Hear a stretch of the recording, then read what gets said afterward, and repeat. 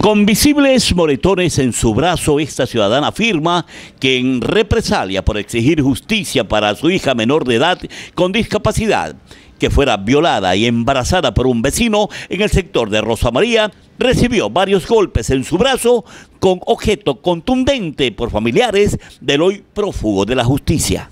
El día miércoles alrededor de las 12 del día, la señora Victoria Chichande, la mamá de este delincuente, de este violador que violó a mi hija, me atacó y me golpeó.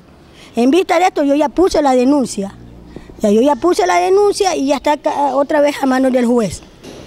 ¿A dónde ocurrió el hecho? En toda la puerta de la escuela Eugenio Espejo. Golpe de 12 del día de, al mediodía. ¿Usted con quién andaba? Yo andaba con mi esposo. ¿Cómo fue que ocurrieron los hechos?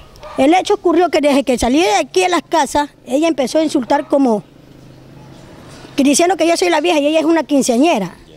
Ella es la quinceañera. Todito aquí del barrio, la otra señora también son quinceañeras, entonces yo soy la vieja. Diciendo que soy una tal, una cual, que sí, cara la verga, que no sé qué, que no sé cuánto, asado y cocinado. Y que mi hijo no va a dar la cara porque mi hijo no, mi hijo es sabido, es sabido el tipo, quien violó y embarazó a mi hija, una niña menor de edad y con discapacidad. A base de eso, porque ahora he optado por ponerle la fotografía a la señora de frente y a todo el mundo, porque coge con, otras señoras más de la vecindad a ponerse a reírse y a mofarse de mi hija. Entonces ahora he optado es ponerle la fotografía así para que se, le quite la risa. Entonces por eso la señora me atacó. Por eso la señora me atacó y por eso yo tengo puesta la denuncia. ¿Qué le atacó? Con, la, con el llavero que cargaba de una cadenita y una, un poco de llaves que cargaba eh, hiriéndome el brazo, que aquí tengo la fotografía y aquí tengo el brazo morado. ¿Usted le puso la denuncia ya? Yo ya le puse la denuncia y ya tomó el caso el juez.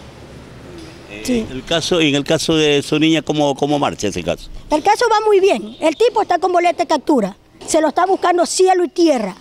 Y seguiré. Lo único que me maten para no hacer justicia por mi hija, porque lo que hizo fue violar a mi hija, una niña discapacitada. No es una niña sana. Y como ellos están diciendo que es una loca y que yo quiero que me testifiquen de que, eh, que, que me le he robado aquí a la vecindad para que me diga que soy una ladrona. Gritaron. Entonces quiero que me lo me, em, comprueba, que me diga que sí que yo tengo antecedentes penales.